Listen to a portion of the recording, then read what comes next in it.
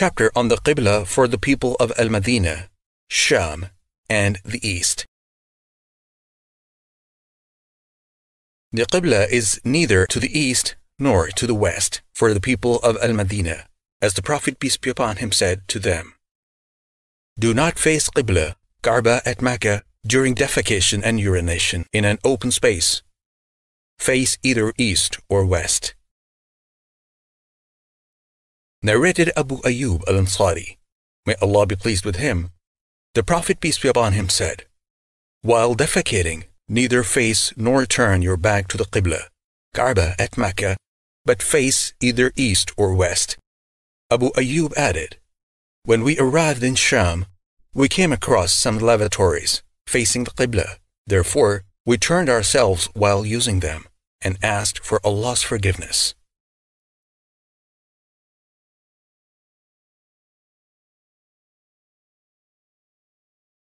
Chapter on the Statement of Allah And take you people the maqam, place of Ibrahim, Abraham, or the stone on which Abraham, peace be upon him, stood while he was building the Kaaba, as a place of prayer for some of your salah, for example, two rak'ah after the tawaf of Kaaba.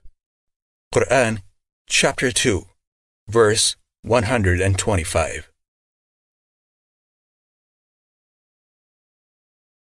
Narrated Amr bin Dinar, I asked Ibn Umar, Can a person who has performed the tawaf around the Kaaba for Umrah but has not performed the tawaf, sa'i, going of as-Safa and al-Marwa, have a sexual relation with his wife?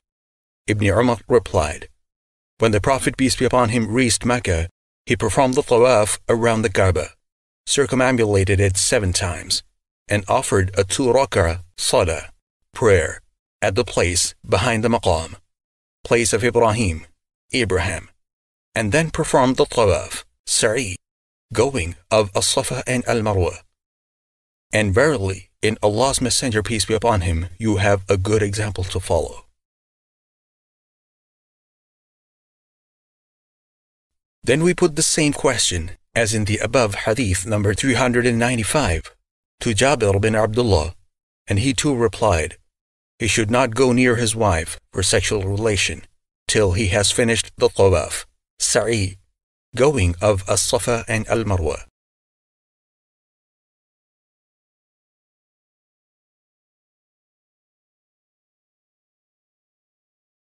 Narrated Mujahid. Someone came to Ibn Umar and said, Here is Allah's Messenger, peace be upon him, entering the Kaaba. Ibn Umar said, I went there, but the Prophet, peace be upon him, had come out of the Kaaba, and I found Bilal standing between its two doors. I asked Bilal, Did the Prophet, peace be upon him, offer salah, prayer, in the Kaaba? Bilal replied, Yes.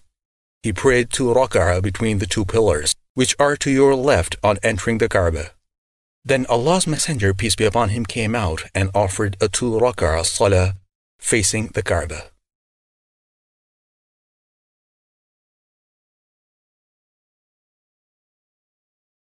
Narrated Ibn Abbas, may Allah be pleased with him, when the Prophet, peace be upon him, entered the Kaaba, he invoked Allah in each and every side of it and did not offer salah, prayer, till he came out of it, and offered a two rak'ah prayer facing the Kaaba and said, This is the Qibla.